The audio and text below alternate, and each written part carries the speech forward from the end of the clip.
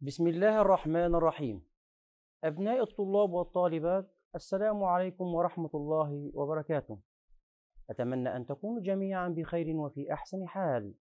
أهلا ومرحبا بكم في درس جديد من دروس التعلم عن بعد ومادة اللغة العربية. عنوان الدرس الجملة الإسمية الجزء الثاني. هذا الدرس يندرج تحت مهارة الكلمة والجملة. هيا فلنبدأ. بداية دعونا نتذكر بعض القوانين الصفية. أولا أجلس جلسة صحيحة.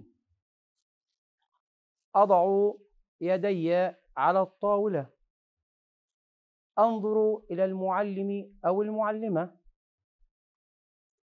أستمع إلى المعلم أو المعلمة جيدا.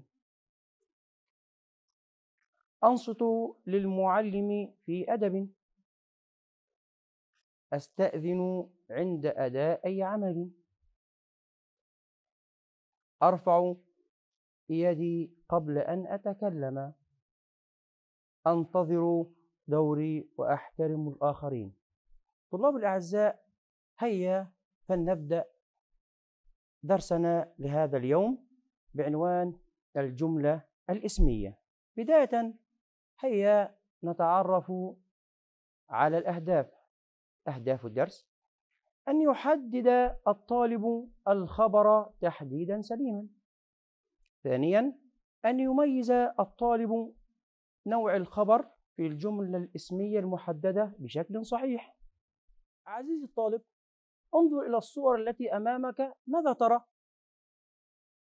بنت حديقة. أحسنت. الحديقة جميلة.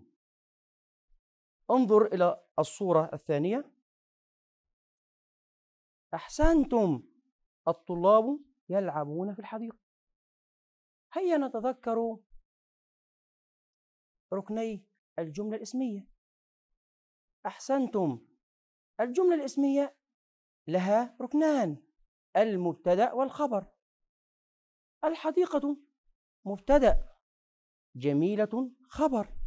لماذا مبتدأ؟ نعم لأن المبتدأ هو الذي يأتي في بداية الجملة. أما الخبر فهو الذي يتمم معنى الجملة. أحسنتم. هيا نتذكر أركان الجملة الإسمية. المبتدأ الخبر. المبتدأ ماذا؟ أحسنتم. المبتدأ هو الاسم الذي نبدأ به الجملة ويحتاج إلى الخبر. الخبر هو الذي نخبر به عن المبتدأ ويتمم معنى الجملة. والآن طلاب الأعزاء هيا بنا نكمل الجملة التي أمامكم بخبر مناسب. المؤمن صادق أحسنتم. الخبر هنا صادق وهو كلمة واحدة. نوع الخبر هنا مفرد أحسنتم. يأتي بجملة أخرى أو بخبر آخر. هيا نفكر. أحسنتم رائعون. يصدق في قوله. هنا الخبر ماذا؟ أصبح يصدق من يصدق. المؤمن لذلك لكل فعل فاعل. وهنا الفاعل مستتر تقديره هو العائد على المؤمن. هنا الخبر نوعه جملة. جملة فعلية أم اسمية؟ أحسنتم. جملة فعلية. والآن افتح الكتاب صفحة ست وعشرين واقرأ الجمل الآتية. وقارن بين الكلمات التي تحتها خط في المجموعتين. المجموعة الأولى الأنهار نعمة من نعم الله. وهي آية عظيمة من آياته. المجموعة الثانية الإنسان العاقل يحافظ على ما وهبه الله تعالى. هو يقدر قيمة نعم الله. والآن هيا نقارن بينهما. ماذا تلاحظ؟ نعم كل جملة في المجموعتين بدأت باسم. نعم الأنهار نعمة الأنهار اسم. لذلك نسميها جملة اسمية. الخبر في الجملة الأولى الأنهار نعمة. لاحظ أن الخبر في المجموعة الأولى نعمة أو آية قد جاء اسما مرفوعا وليس جملة وهنا كلمة واحدة. فنسميه خبر مفرد. أحسنتم. لاحظ أن الخبر في المجموعة الثانية يحافظ أو يقدر وقد جاء جملة فعلية تتكون دائما من فعل وفاعل. أحسنتم. هيا نكرر. نعمة آية. خبر مفرد. لذلك نسمي الخبر المفرد هو اسم يدل على المفرد أو المثنى أو الجمع ويكون مرفوعا. الخبر المفرد هي هو كلمة واحدة كلمة واحدة. يحافظ يقدر. نوع الخبر جملة فعلية. جاء الخبر جملة فعلية تتكون دائما من فعل وفاعل. الآن هيا بنا. حدد المبتدأ باللون الأزرق والخبر باللون الأحمر. وحدد نوع الخبر في الجمل الآتية. هيا طلاب الأعزاء نفكر. نقرأ الجمل أولا ثم نحدد المبتدأ ونوع الخبر. هيا بنا. المهندس يخطط لعمله.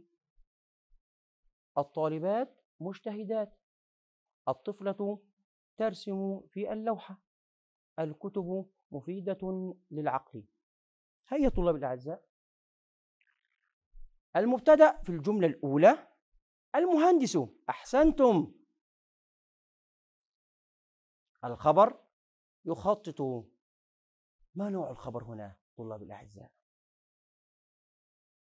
أحسنتم. نوع الخبر هنا جملة فعلية. مثال آخر. المبتدأ الطالبات. أين الخبر؟ رائعون. مجتهدات. ما نوع الخبر؟ الخبر هنا كلمة واحدة. أحسنتم. إذا فهو خبر مفرد. هيا. الجملة الثالثة.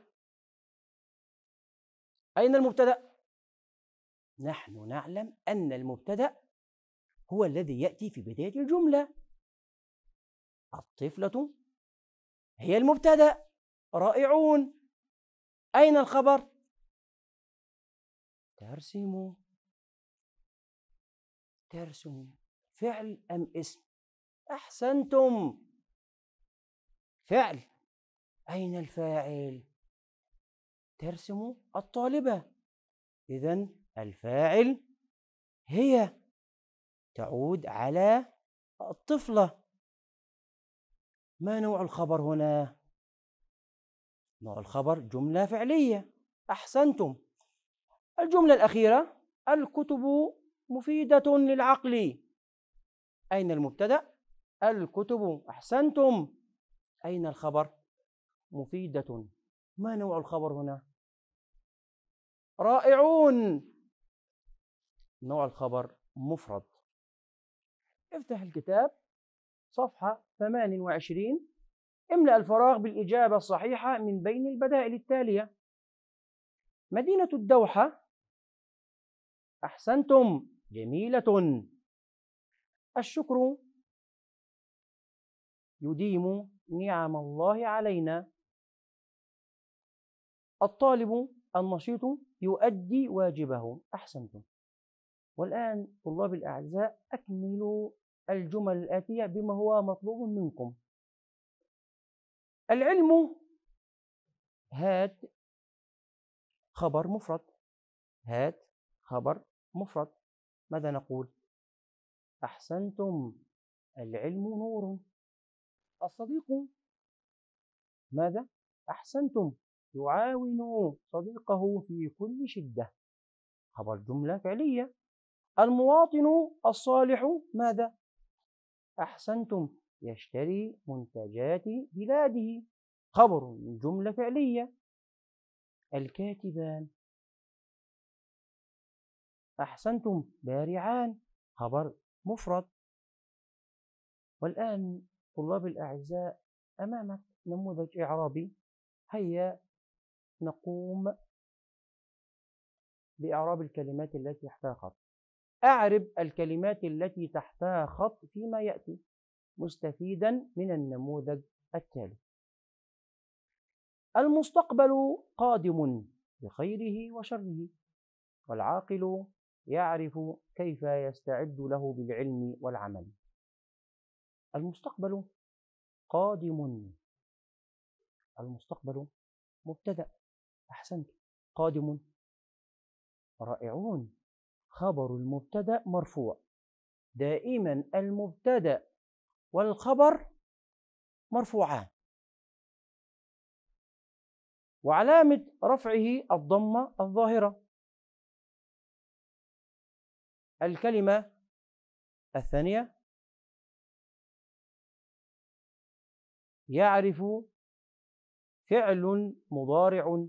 مرفوع وعلامة رفعه الضمة الظاهرة. والفاعل ضمير مستتر تقديره هو. والجملة الفعلية من الفعل والفاعل أي من يعرف هو في محل رفع خبر المبتدأ. نموذج إعراب آخر هي الصحة نعمة. هذه جملة اسمية. إذا الصحة مبتدأ مرفوع علامة رفعه الضمة. أحسنتم. نعمة.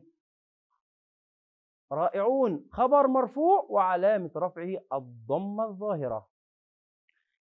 مثال آخر. المؤمن يتوكل دائما على الله.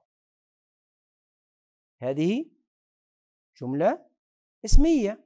المؤمن مبتدأ مرفوع علامة رفعه الضمة الظاهرة. يتوكل. أحسنتم. فعل مضارع مرفوع علامة رفعه الضمة الظاهرة والفاعل ضمير مستتر تقديره هو. عائد على من؟ عائد على المؤمن. إذا الجملة من الفعل والفاعل في محل رفع خبر المبتدأ المؤمن. أحسنتم. والآن طلاب الأعزاء قاعدة الجملة الإسمية. ركن الجملة الإسمية المبتدأ والخبر. كما تعلمنا المبتدأ هو الذي نبدأ به الجملة. أما الخبر فهو الذي يتمم معنى الجملة ويخبر عن المبتدأ. وهناك بعض أنواع الخبر مثل الخبر المفرد أقول الطالب مجتهد الطالبان مجتهدان الطلاب مجتهدون. النوع الثاني الخبر جملة فعلية. أقول الطلاب يجتهدون في دراستهم. والآن ماذا تعلمنا في هذا الدرس؟ تعلمنا الخبر يرفع بالضمة إذا كان مفردا. ويرفع بالألف إذا كان مثنى ويرفع بالواو إذا كان جمع مذكر سالما. مثل الطالب مجتهد الطالبان مجتهدان الطلاب مجتهدون. الخبر يأتي إما مفردا أو جملة كما درسنا. وفي الختام أشكر حسن استماعكم طلابي الأعزاء في لقاء آخر مع درس آخر من دروس التعليم عن بعد. طلاب الأعزاء شكرا لكم والسلام عليكم ورحمة الله وبركاته.